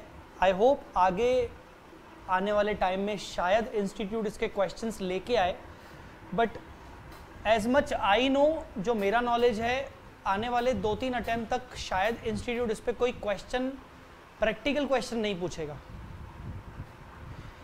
हेज अकाउंटिंग इज़ लाइक ये अपने आप में ही एक अलग टॉपिक है। इस पे टेक्निकली देखा जाए तो एक बुक बन सकती है टू बी वेरी फ्रेंक मतलब ये इतना इतना इसको समझना समझना, समझने के बाद अप्लाई करना मतलब बहुत ज़्यादा अलग ही चीज़ है ये। उतना एक्सपेक्टेड बच्चों से नहीं रहता है। हाँ ये है कि एक बेसिक नॉलेज पता होनी चाहिए। तो मैं आपको इस चार्ट में से एक रिवीजन पर्पज से मैं आपको एक बेसिक नॉलेज दे, दे, दे देना चाहता हूँ कि क्या क्या है। हालाँकि मैं अपने रेगुलर कोर्स में और फास्ट ट्रैक कोर्स में और इवन बूस्टर कोर्स में भी रेगुलर में तो ज़्यादा करवाता हूँ क्वेश्चंस मैं हैज़ अकाउंटिंग के क्वेश्चंस भी करवाता हूँ अपनी रेगुलर कोर्स में। फास्ट ट्रैक में भी करवाता हूँ बूस्टर में मैं एक क्वेश्चन करवाता हूँ। यस मैं प्रैक्टिकल क्वेश्चंस भी करवाता हूँ। बट इंस्टीट्यूट ने वो प्रैक्टिकल क्वेश्चंस हटा दिए हैं और दिए नहीं है। मैं अपने कुछ एग्जाम्पल्स भी करवाता हूँ।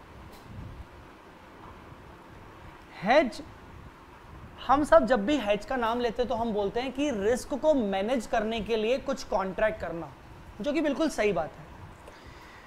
हेज अकाउंटिंग समझने के लिए आपको पहले ए और बी ये दो मत, दो चीज़ों का मतलब समझना पड़ेगा। हैज्ड आइटम और हैजिंग इंस्ट्रूमेंट हैज्ड आइटम सी आपको ये पता है कि हैजिंग क्यों करते हैं? रिस्क होती है। अब मैं आपको बोलूँ कि सर रिस्क किसमें है? तो आप बोलोगे, सर रिस्क मेरे को करेंसी में है, क्योंकि मुझे कुछ कुछ पैसा मिलने वाला है। पैसा मिलने वाला है मतलब रिसीवेबल मतलब डेटर्स मतलब फॉरेन डेटर्स तो आपकी रिस्क किसमें है? फॉरेन डेटर में छुपी हुई है। बोलोगे कि, सर, नहीं नहीं, सर, मुझे पे करना है करेंसी में पे करना है, कोई दूसरी करेंसी पे करनी है। तो मैं बोलूँगा, आपका आपका रिस्क फॉरेन क्रेडिटर्स में है। कोई बोलेगा, रिस्क मैं बोले, बोला, किसकी, आपकी रिस्क किसमें है? तो आपने बोला, सर, मेरा रिस्क है शेयर मार्केट बढ़ गिर ना जाए। तो मतलब दैट मीन्स आपको रिस्क लग रहा है एनएससी पे। मार्केट पे सेंसेक्स पे बीएससी पे। समझ में आ रही मेरी बात? तो ये जो रिस्क है वो रिस्क किसके ऊपर है? उस चीज़ को बोलते हैं हेज्ड आइटम। हेज्ड आइटम मतलब किस चीज़ की रिस्क है? आपको किसी के, के आपके पास कोई असेट है क्या जिसकी वैल्यू डाउन हो सकती है? उसकी रिस्क है क्या? आपके पास कोई लाइबिलिटी है क्या? जैसे आपने कोई लोन लेके रखा है फॉरेन करेंसी लोन लेके रखा है अब आपने फॉरेन करेंसी लोन लेके रखा है तो करेंसी की वैल्यू बढ़ जाएगी तो आपको फॉरेन आपका आपका रीपेमेंट बढ़ जाएगा तो आपकी लाइबिलिटी की वैल्यू बढ़ जाएगी। तो ये आपकी रिस्क है क्या? फर्म कमिटमेंट आपने कोई कॉन्ट्रैक्ट किया हुआ है क्या कि आगे चल के आप गुड्स परचेज करोगे? फिफ्टी रुपीज़ एटी रुपीज़ पर डॉलर के हिसाब से। या आप आगे चल के goods बेचोगे seventy five rupees per dollar के हिसाब से। अब आपने कमिटमेंट कर लिया कि मैं तो goods बेचूँगा seventy five rupees per dollar. अब आगे चल के अगर मान लो डॉलर की वैल्यू बढ़ जाती है तो मेरे को तो नुकसान हो जाएगा। रिस्क है। फॉर्म कमिटमेंट मतलब एक कमिटमेंट कर लेना कि हाँ आगे अपन ये ट्रांजेक्शन करेंगे एग्रीड प्राइस पर। तो वो रिस्क है। हाईली प्रोबेबल फ्यूचर ट्रांजेक्शन अब आपका कोई कमिटमेंट नहीं है किसी के साथ। आप एक फ्यूचर में ट्रांजेक्शन करने वाले हो। मान लो आगे चल के मैं एक यूरोप की ट्रिप करने वाला हूँ। या मैं ब्रिटेन जाने वाला हूँ, पर मुझे डर है कि पाउंड की वैल्यू ना बढ़ जाए। पाउंड की वैल्यू बढ़ जाएगी तो जो मैं ट्रांजेक्शन करने वाला हूँ मतलब जो मैं ट्रिप करने वाला हूँ, मेरे को वो महँगी पड़ेगी। बेसिकली रिस्क किसमें है? किसी एग्जिस्टिंग असेट में है क्या आपके? किसी एग्जिस्टिंग लाइबिलिटी में है क्या? या कोई असेट लाइबिलिटी ना हो के कोई कमिटमेंट है क्या आपका? खरीदने, बेचने का, कोई ट्रांजेक्शन करने का। या कमिटमेंट ही नहीं, पर आपको पता है कि वो ट्रांजेक्शन मुझे करना ही है, मेरा किसी के साथ कमिटमेंट नहीं है। हाईली प्रोबेबल ट्रांजेक्शन है। तो रिस्क किसमें है? जिस चीज़ में रिस्क है, जिसको मुझे बचाना है बचाना है, जिसको मुझे सेव करना है, रिस्क से, जिसमें मैं चाहता हूँ कि मेरा नुकसान कम से कम हो, उस आइटम को बोलते हैं हेज्ड आइटम अब बचाने के लिए मैं क्या करूँ? बचाने के लिए मेरे पास कोई वेपन होना चाहिए। I should have some weapon to save this so that weapon is known as derivative contract that weapon is known as derivative contract it is a and that weapon is called hedging instrument hedging instrument means एक derivative contract मतलब एक weapon जिसकी मदद से आप ऊपर वाली चीज़ों को बचाओगे, आप ऊपर वाली चीज़ों के रिस्क नुकसान के रिस्क को कम करोगे। So hedging instrument is a weapon it is a derivative contract it may be future contract it may be forward it may be option that means hedging instrument एक डेरिवेटिव कॉन्ट्रैक्ट होता है, जो कि आप आप उस कॉन्ट्रैक्ट में inter होते हो क्योंकि आपको इस आइटम को बचाना है। समझ में? Derivative contract acquire to reduce the risk of hedged item I hope आपको क्लियर हो गया होगा। It can be options futures forwards अब हेज अकाउंटिंग करने के लिए हेज अकाउंटिंग समझने के लिए हेज अकाउंटिंग करने के लिए, आपको पहले ये समझना पड़ेगा कि कितने टाइप की हेज अकाउंटिंग होती है। पहली होती है कैश फ्लो हैज़ दूसरी होती है फेयर वैल्यू हैज़ तीसरा होता है hedge of net investment in foreign operation this much is somewhat important and बाकी के दो ज़्यादा इंपॉर्टेंट नहीं है। कैश फ्लो हैज़ जहाँ पर आपको रिस्क है आपके कैश को लेकर। मतलब आप का कैश ज़्यादा जाएगा या आपको कैश कम मिलेगा? उस चीज़ कर लेकर आपको थोड़ा सा रिस्क हो रहा है।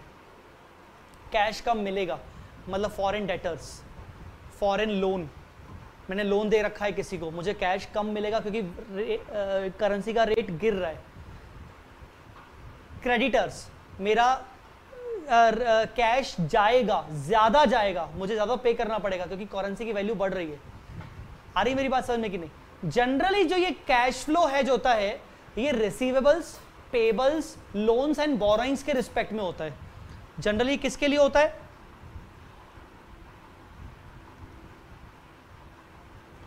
रिसीवेबल्स पेबल्स लोन्स बोरोइंग्स ये आपका चार चीज़ों के रिस्पेक्ट में होता है।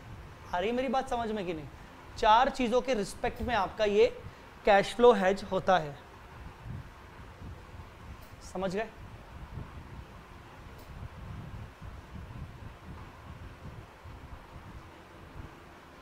क्लियर जहाँ आपका कैश का इन्वॉल्वमेंट है मतलब वो कैश फ्लो हेज। जहाँ आपका कैश का इन्वॉल्वमेंट नहीं है, जैसे मेरे पास एक शेयर रखा हुआ है रिलायंस इंडस्ट्रीज़ का। मुझे उसको बेचना नहीं है। मुझे एक्स्ट्रा शेयर परचेज भी नहीं करने। पर मेरे को फिर भी डर लग रहा है, यार, इस शेयर की वैल्यू ना गिर जाए। या मेरे पास एक बिल्डिंग रखी है, मेरे पास कुछ प्रॉपर्टीज़ हैं। मेरे को डर लग रहा है, अरे यार, कोरोना आ गया, मेरे को बिल्डिंग्स की वैल्यू गिर गई है। उसके लिए मैं क्या ऐसा कुछ कर रहा हूँ हैजिंग इंस्ट्रूमेंट बात समझ में आ रही कि नहीं? बट मुझे उसमें अभी कुछ कैश ना मिलेगा कैश ना ना मुझे उसको बिल्डिंग को बेचना है, ना मुझे उस बिल्डिंग को और खरीदना है। सिर्फ़ बिल्डिंग के वैल्यू गिरने का डर है। फेयर वैल्यू हेज जहाँ पर कैश का इन्वॉल्वमेंट ना हो। और तीसरा तो बिल्कुल ही अलग है, वो मैं बाद में डिस्कस करूँगा। कैश फ्लो हेज क्या बोलता है? कैश फ्लो हेज बोलता है कि देखो साहब, आपके पास दो चीज़ें हैं। एक हेज्ड आइटम मतलब जिसमें आपको डर है for example debtors foreign debtors आपको पैसा कम मिलेगा। और फॉरेन डेटर्स को बचाने के लिए आपने करेंसी में फॉरवर्ड्स कर लिया। आपने फॉरवर्ड करेंसी कॉन्ट्रैक्ट ले लिया। ठीक है ना? तो एक है आपके पास हैज्ड आइटम और दूसरा है आपके पास हैजिंग इंस्ट्रूमेंट हैज्ड आइटम को बैलेंस शीट डेट पर रीवैल्यू करो इंडेस 21 लगा के, है ना? क्लोजिंग रेट लगा के, और जो भी डिफरेंस आए, उसको ओसीआई में डाल दो। ये पहला point fair value the hedged item through OCI foreign debtors को इंडेस 21 के अकॉर्डिंग आप क्लोजिंग रेट पे वैल्यू करके जो भी डिफरेंस आएगा, इस बार उसको पेंडल में मत डालो, उसको ओसीआई में डालो। हैजिंग इंस्ट्रूमेंट जो आपने फॉरवर्ड कॉन्ट्रैक्ट लिया है, उसमें वो तो आपका डेरिवेटिव है बैलेंस शीट डेट पर आप उसकी फेवरेबल या फेवरेबल या अनफेवरेबल फेवरेबल या अनफेवरेबल पोजीशन निकालो और उसको भी मेजर करो थ्रू ओसीआई सर आपने तो बोला था कि डेरिवेटिव कभी ओसीआई के थ्रू जाता ही नहीं है डेरिवेटिव हमेशा एफ़ होता है। Yes but this is the exception under hedge accounting hedge accounting में क्योंकि डेरिवेटिव किसी हैजिंग के कारण किया गया है तो वो अब आप उसको मेजर करोगे थ्रू ओसीआई अब हुआ क्या? स्टेप वन जो भी डिफरेंस आया वो ओसीआई स्टेप टू जो भी डिफरेंस आया वो ओसीआई डेफिनेटली स्टेप वन में अगर गेन है तो स्टेप टू में लॉस होगा, या वाइसा वर्सा अगर स्टेप वन में लॉस है तो स्टेप टू में गेन होगा, क्योंकि सीधी बात है हैज़ आइटम फॉरेन डेटर्स को सेव करने के लिए मैं फॉरवर्ड कॉन्ट्रैक्ट ले रहा हूँ तो अगर मुझे यहाँ नुकसान हो रहा है तो उधर मुझे फ़ायदा ही होगा। तो दोनों चीज़ें कहाँ चली गई? ओसीआई में। चली गई? ठीक है। अब आपने अगर एक फॉरवर्ड रेट लेके रखा होगा जैसे मान लो आपने एक फॉरवर्ड रेट फॉरवर्ड रेट ले लिया सेवेंटी रुपीज़ कि आपको सेवेंटी रुपीज़ में रियलाइज़ हो जाएगा। बैंक ने आपको रेट दे दिया सेवेंटी रुपीज़ जबकि आपने ट्रांजेक्शन किया था सेवेंटी टू रुपीज़ पे। आप बोल रहे हो, आपको फिर भी दो रुपए का नुकसान हुआ एक्चुअली में। जो दो जो दो रुपए का आपका एक्चुअल लॉस आ रहा है, उस दो रुपए के एक्चुअल लॉस को आप डेफर एंड अमोटाइज करो over the period of contract आपको चार महीने बाद पैसा मिलेगा, तीन महीने बाद मिलेगा वॉट तो जो फॉरवर्ड रेट आपको मिला है सेवेंटी रुपीज़ और आपने स्पॉट रेट पे बुक किया था सेवेंटी टू तो दो रुपए का जो हेलो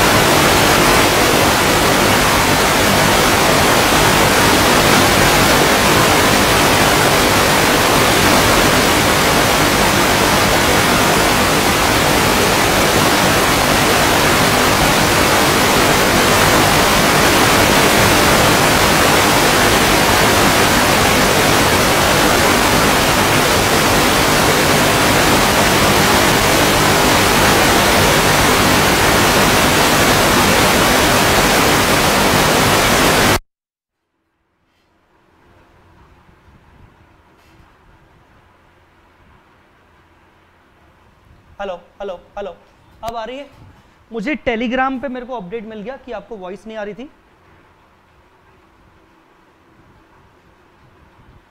मुझे बताओ, आपने कहाँ तक समझा?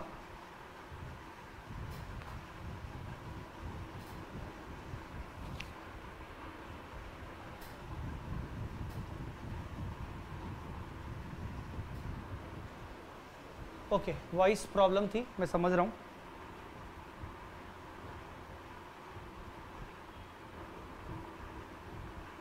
ओके मुझे टेलीग्राम पे लिख के बताइए कि आपने लास्ट कब तक सुना था?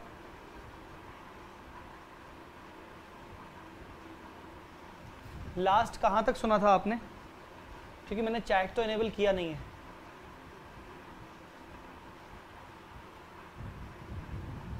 बाप रे। चलो कैश फ्लो पूरा ही समझा देता हूँ फिर से। कैश फ्लो पॉइंट टू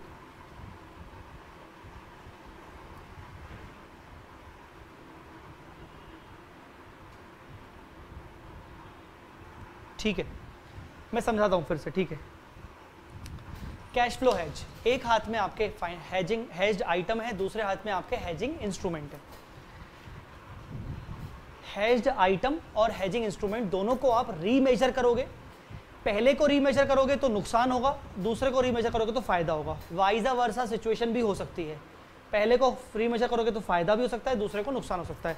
दोनों को रीमेजर करोगे ओसीआई के थ्रू जब आप ओसीआई के थ्रू रीमेजर करोगे तो उसका नाम आप दोगे अकाउंट का cash flow hedge reserve cash flow hedge reserve like जब आप मान लो हैज्ड आइटम मतलब मान लो फॉरेन डेटर्स को रीमेजर कर रहे हो, और आपको वहाँ पर नुकसान हो रहा है क्लोजिंग रेट पर रीमेजर कर रहे हो तो आप एंट्री करोगे cash flow hedge reserve account debit to foreign debtors और फिर आप स्टेप टू में जो हैजिंग इंस्ट्रूमेंट आपने लिया है फॉरवर्ड कॉन्ट्रैक्ट का फॉरवर्ड करेंसी कॉन्ट्रैक्ट का, उसको रिमेजर करोगे तो आपको गेन होगा तो एंट्री करोगे derivative financial asset account debit to cash flow hedge reserve ultimately दोनों का गेन लॉस एक का गेन एक का लॉस आपका कहाँ जाएगा? कैश फ्लो हैज़ रिज़र्व में चला गया। चला गया? कैलकुलेट एक्चुअल लॉस आपको पहले से ही आपका एक्चुअल लॉस पहले से ही पता होगा। कैसे? अगर आपने फॉरवर्ड कॉन्ट्रैक्ट लिया होगा तो फॉरवर्ड रेट होगा आपके पास। फॉरवर्ड रेट को स्पॉट रेट से कंपेयर करोगे तो आपको पहले से ही पता होगा कि आपका तो नुकसान फिक्स हो गया, क्योंकि आपने तो हैजिंग करवा ली।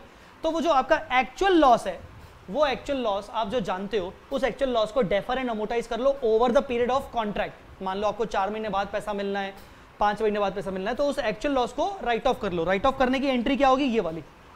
P account debit to cash flow hedge reserve ये हो गई आपकी स्टेप थ्री आपने अगर फॉरवर्ड में नहीं लगाया होगा ऑप्शन में लगाया होगा तो ऑप्शन में आपने प्रीमियम पे किया होगा तो प्रीमियम आपका एक्चुअल लॉस है। तो जो प्रीमियम का अमाउंट है, उसको राइट ऑफ़ कर लो। इस तरीके से। आई बात समझ में। मतलब ऊपर के जो दो गेन और लॉस आ रहे हैं, वो क्योंकि अनरियलाइज है, उन दोनों को डाल दिया ओसीआई में। और जो आपका एक्चुअल लॉस आ रहा है बिकॉज़ ऑफ़ फॉरवर्ड कॉन्ट्रैक्ट उसको ओसीआई से निकाल के पीएनडल में डाल दिया। थोड़ा थोड़ा करके डिफरेंट अमोटाइज लास्ट में क्या होगा? सेटलमेंट डेट पर आप हैजिंग इंस्ट्रूमेंट और हैज्ड आइटम दोनों को सेटल कर लोगे। डेरिवेटिव भी सेटल हो जाएगा डेटर्स भी सेटल हो जाएँगे। अल्टीमेटली जो आपका कैश फ्लो हैज़ रिज़र्व होगा, वो निल हो जाएगा automatically yes hundred percent nil हो जाएगा। Right?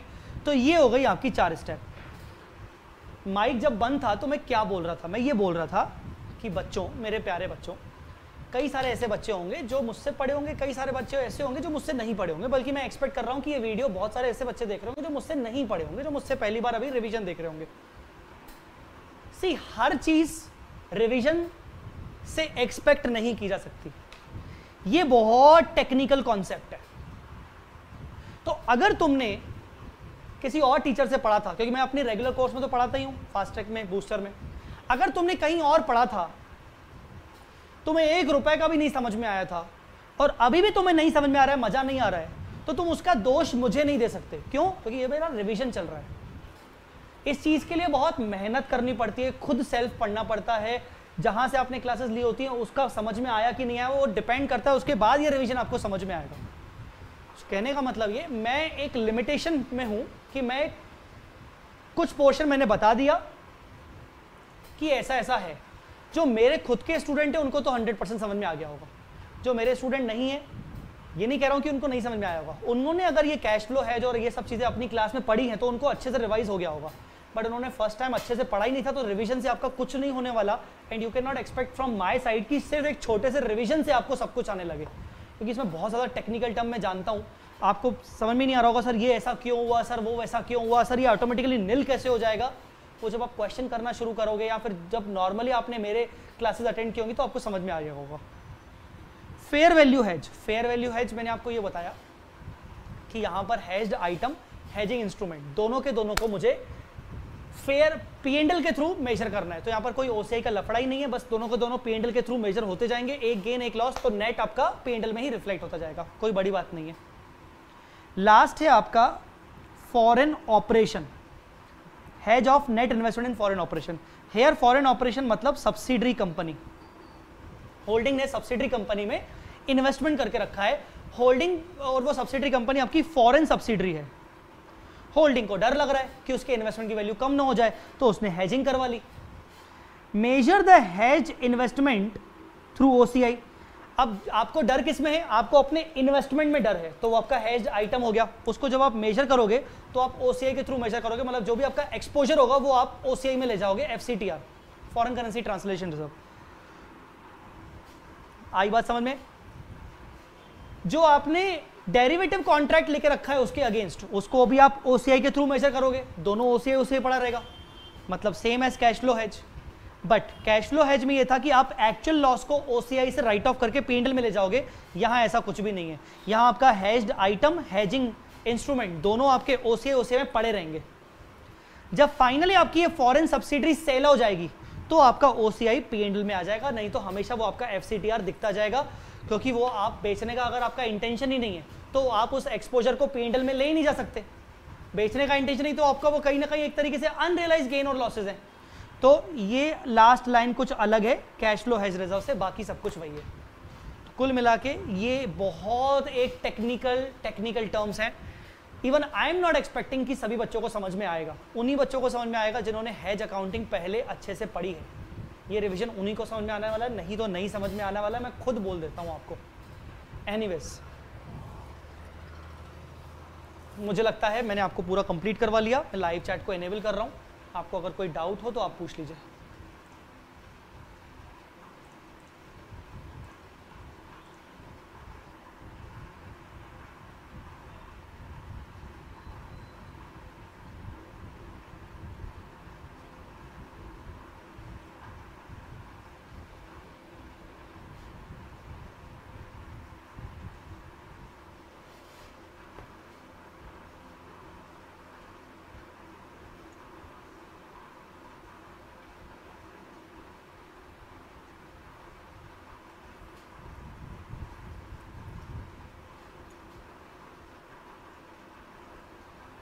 Okay, tell me guys.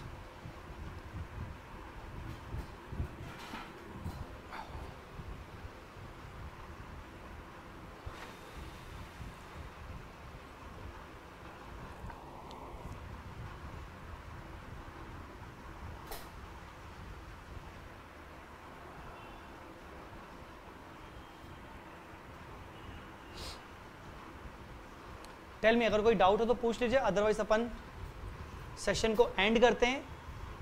कल सैटरडे उसके बाद संडे दो दिन सेशन नहीं रहेगा। मैंने आपको रीज़न बताया, कल सैटरडे है, मुझे अपने कुछ पर्सनल वर्क है, मैं अपने फैमिली के साथ हूँ। मुझे पापा को हॉस्पिटल भी ले जाना है चेकअप के लिए ले जाना है।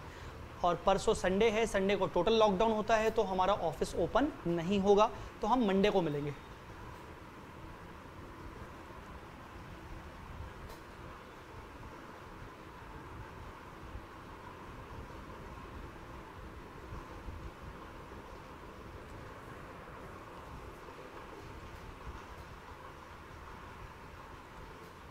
यस ये दोनों लेक्चर आपके 11 बजे तक रहेंगे।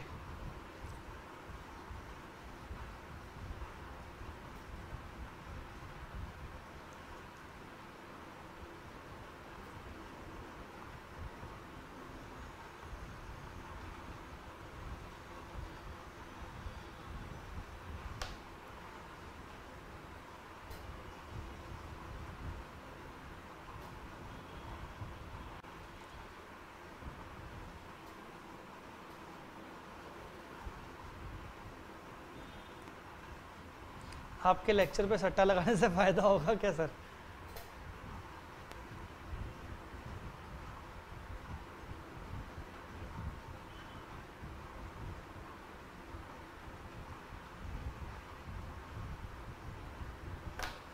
इसका स्क्रीनशॉट ले लो और ग्रुप पे शेयर कर लेना ताकि सभी बच्चों को डाउट ना हो।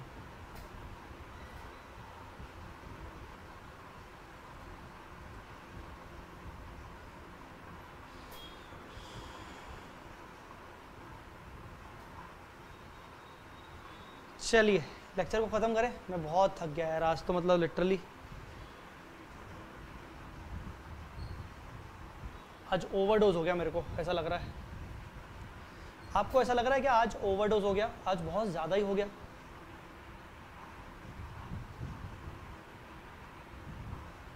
नेक्स्ट टॉपिक के लिए डिस्क्रिप्शन में मैंने दिया हुआ है। नेक्स्ट टॉपिक क्या है यार?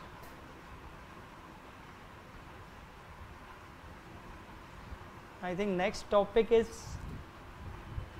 yes business combination.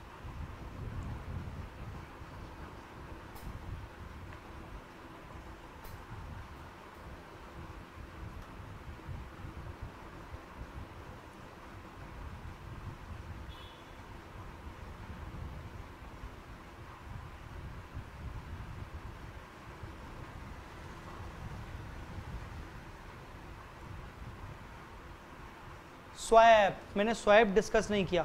चलो स्वैप मैं अगली बार किसी लेक्चर में बता दूँगा यार, अब बहुत थकावट हो गई तो स्वैप मैंने डिस्कस नहीं किया यस मैं अगली बार कभी बता दूँगा उसको यार।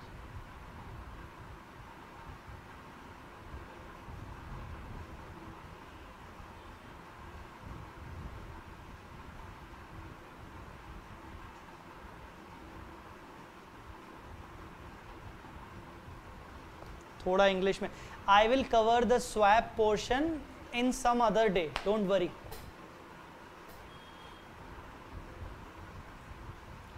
चलो guys thank you so much thank you so much bye bye जय माता दी। अल्लाह हाफिज। Take care